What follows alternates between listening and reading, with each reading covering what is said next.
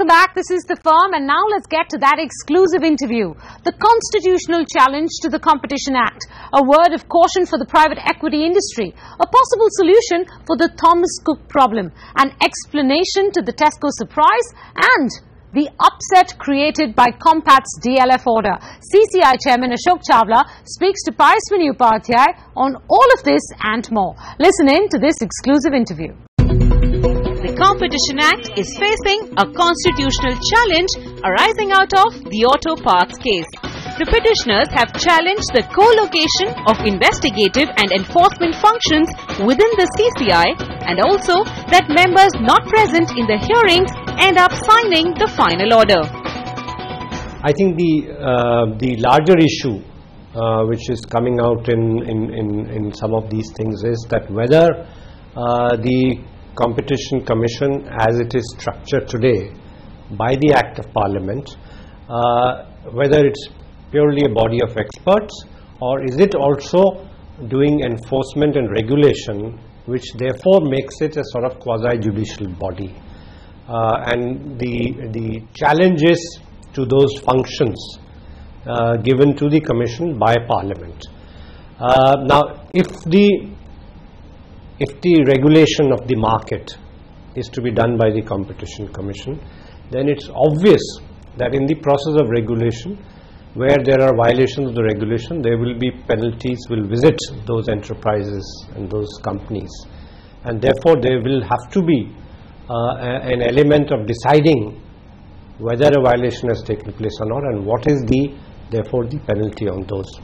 I think that's the larger issue. On the other issue, which you mentioned whether members sign the orders or not, let me very clearly say that the way the, the act is uh, structured, the, all the members, as many members are as are, uh, as are in existence at a point in time, and the act provides for a maximum of chairperson plus six, that is total seven persons. They all have to sit together and bank to hear a matter and decide it. And all those who have heard a matter and continue to be in the employment of the Commission sign those orders, whether they sign the majority order or they are free to write their notes of dissent. But it's not as if somebody hears a matter and then chooses neither to be a part of the majority nor part of the dissent. That's not the case. I don't think that's correct. Due process apart, industry is also perturbed by the precedents being set by the CCI in its recent orders. One such is what came out in Kotak's filing for a 15% non-controlling interest in MCX Stock Exchange. Competition experts questioned the need for filing for such a transaction in the first place and then CCI's unclear order made matters worse. The Competition Act exempts a transaction from filing requirements if it doesn't meet filing thresholds there is no acquisition of control, the transaction is purely an investment or is in the ordinary course of business. Experts say that Kotak's existing investment in Ahmedabad Commodity Exchange could have prompted the filing as a precautionary measure. But the CCI order doesn't say if this in fact was the reason why the filing exemption didn't apply. A strategic investment, yes, the, uh, the uh, regulations say that if it's purely a strategic investment, it's not necessary to file. But what if, and you referred yourself to, into that particular case, what if a person makes strategic investment in three or four companies in the same sector? Will he, will that enterprise making that investment be allowed the liberty of not notifying the transaction and not seeking prior approval? Because that strategic investment, it may be below 25%, but that strategic investment of 15, 20, 24% in three or four companies in the same line of business could materially alter the competitive landscape. So what would your message to the private equity industry be? That every time they make a fresh investment in a sector where they are already invested, should they come to the CCI for filing? Because some would say that the filing fees itself are very high. Uh, we have this window, as you may be aware, of pre-filing consultations, which are now also held on substantive issues. So when in doubt, consult the commission. Despite all this, there will be certain borderline cases. And what I would say is, and what I would suggest to, uh, to the enterprises or the equity funds concerned is it's better to err on the side of caution than to have the competition commission visit you with some kind of penalty for gun jumping. Gun jumping? CCI's order in Thomas Cook's case gave a new meaning to that term. Earlier this year, Thomas Cook's board approved Sterling Holidays acquisition via a multi-stage process. One transaction related to Thomas Cook's market acquisition of Sterling shares. Thomas Cook disclosed this transaction when it filed with the CCI for a scheme of arrangement approval. The regulator concluded that this market purchase made by Thomas Cook before the filing is a violation of section 43A of the Competition Act. The section allows the regulator to impose penalties if parties fail to notify a transaction. And this cost Thomas Cook 1 crore rupees.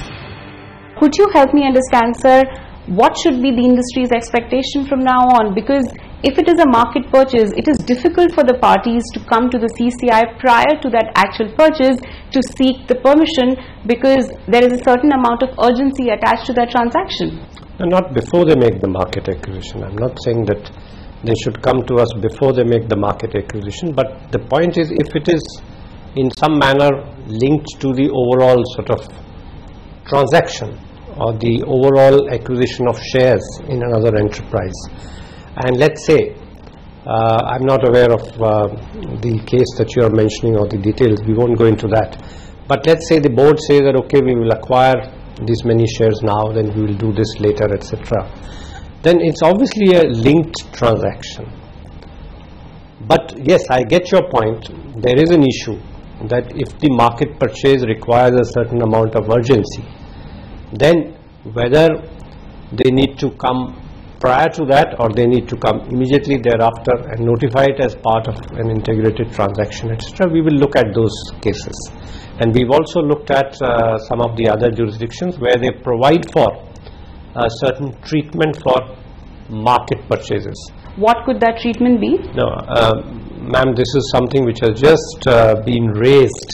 What we would do what we would not do i cannot say today. Another recent order that took industry by surprise was CCI's 3 crore rupee penalty order against Tesco. On 17 December last year, Tesco applied for FIPB approval to acquire a 51% stake in Trent Hypermarket. It filed with the CCI on 31st March 2014, 10 days after it signed the joint venture and share purchase agreement with Trent. CCI concluded this to be a late filing by Tesco and held the filing should have been made within 30 days of the FIPB application. I wouldn't go into individual cases and uh, some of them are in appeal etc. But be that as it may, the, the philosophy is that uh, you have to come to the commission within a certain number of days of having decided what you're going to do. And if you have decided and gone, let's say in this case, to one another regulator and filed your papers, then obviously that becomes the trigger because it cannot be that the same material information of, of a proposed uh, combination cannot be given to the commission. Now, there are two concerns uh, on this front, sir. When I'm making an application to the FIPB or any statutory regulator, I may be well within the thresholds or exemption thresholds that the Competition Act allows me. That is one.